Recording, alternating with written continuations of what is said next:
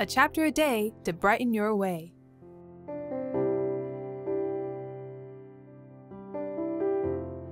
Mothers, you've worked hard.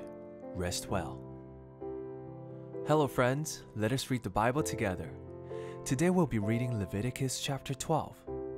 In this chapter, we will look at some of the rules for Israelite women after giving birth.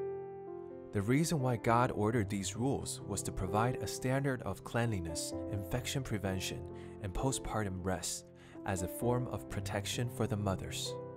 Before reading the passage, we should first understand that the cleanliness and the uncleanliness mentioned in the Bible have nothing to do with good or evil. Being unclean is not necessarily avoidable, and the reasons for being unclean often have nothing to do with sin.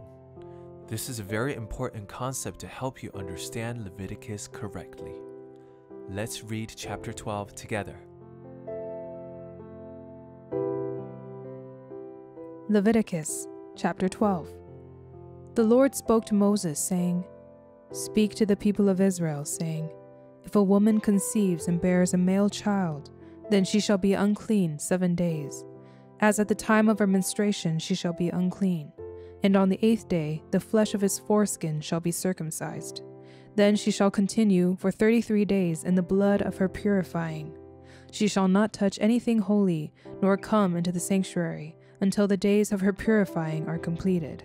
But if she bears a female child, then she shall be unclean two weeks, as in her menstruation, and she shall continue in the blood of her purifying for sixty six days.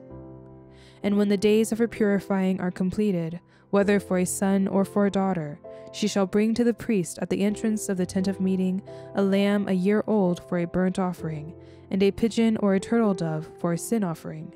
And he shall offer it before the Lord and make atonement for her. Then she shall be clean from the flow of her blood. This is the law for her who bears a child, either male or female. And if she cannot afford a lamb, then she shall take two turtle doves or two pigeons, one for a burnt offering and the other for a sin offering. And the priest shall make atonement for her, and she shall be clean. If you are reading this chapter for the first time, you may wonder why mothers would be considered unclean after they worked so hard to give birth. The reason why mothers were classified as unclean after pregnancy and childbirth was not because of the birth itself, but because of the unclean blood discharged during childbirth. The sanitation and medical treatments during those times were not as advanced as they are now, so these regulations were particularly important.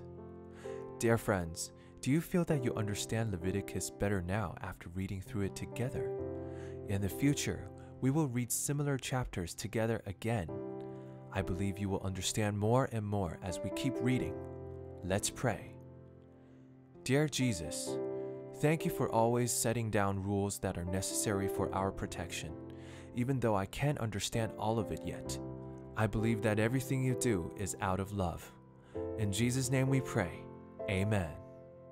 A chapter a day to brighten your way. See you tomorrow. Jesus loves you, and I love you too.